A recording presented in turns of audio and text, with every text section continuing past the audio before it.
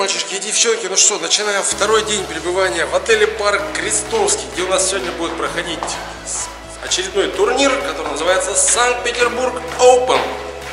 Сегодня будет, ожидаются участников чуть-чуть поменьше, потому что после вчерашнего дня многие разъехались. Но, тем не менее, посмотрим. Уже все равно кто-то играет. Кто-то у нас уже играет. Это хорошо. Это замечательно. Регистрация у нас до 10 часов утра. На часах 9.34. Сейчас зарегимся. Че, Боря, нормально сегодня? Конечно. Будем побеждать? Как всегда. Так, чемпионка вчерашняя уже снова регистрируется. Снова хочешь победить всех, да? Я, я вчера не хотела. Не хотела, само так вышло.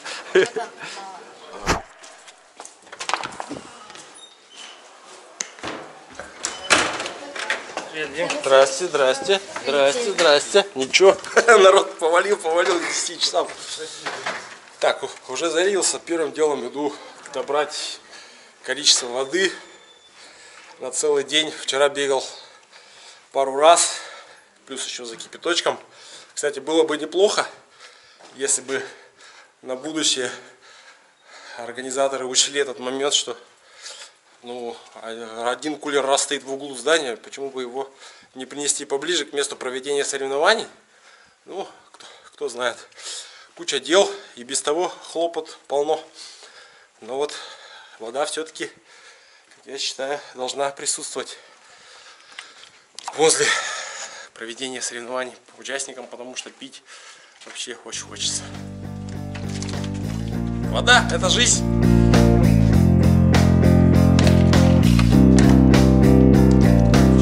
Пять-три, да. С такой манерой броска. Корявый-то. Вязал, с которым ты играл. Нет. Тот третье место в итоге занял. Наталья, привет. Как дела? Выспалась? Ну сегодня-то надо побеждать. Я буду стараться. Обещаешь?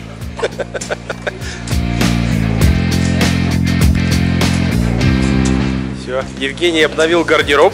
Да ты модник? Привет. Я буду мстить. Правильно. Только не мне, надеюсь. Я больше надеюсь, я с тобой не попаду. Мне бы все-таки хотелось поиграть больше с иностранцами, с ребятами, с незнакомыми. Чего с одними и теми же все время играть? Мы же за опытом приехали, получать международный опыт.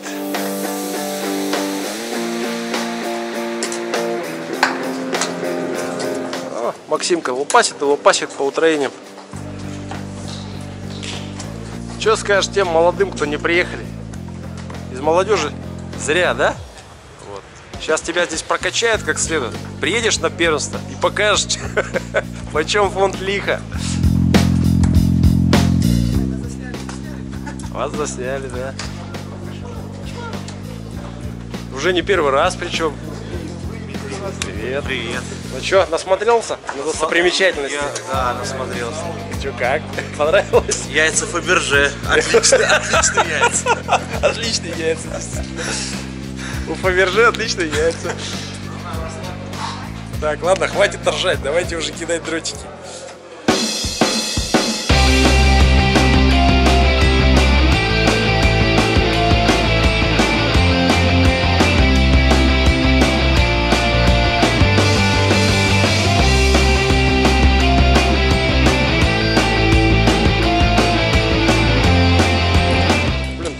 Мишени на мишени бегаешь. Тебе ты и там, и там, и сям. Все мишени пометил.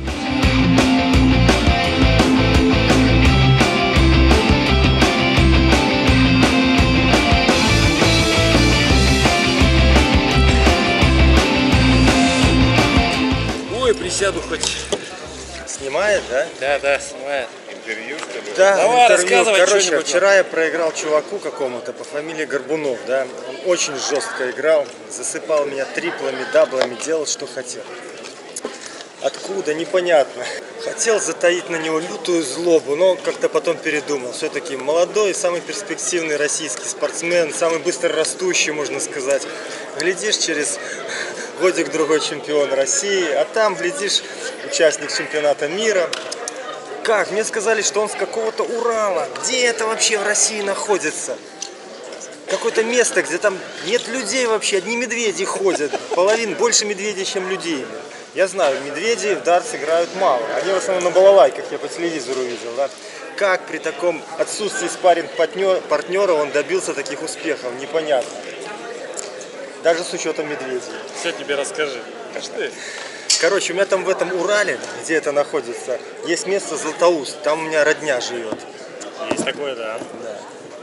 Если он мне сегодня попадется на Олимпийке и выиграет меня, все, я звоню родне, они ищут эту, едут в этот Урал, ищут берлогу, где он живет, этот Горбунов, и спалят нахрен то дерево, на которое у него мишень прибита, бляха. А мишень занесут в лес, чтобы медведи дальше тренировались.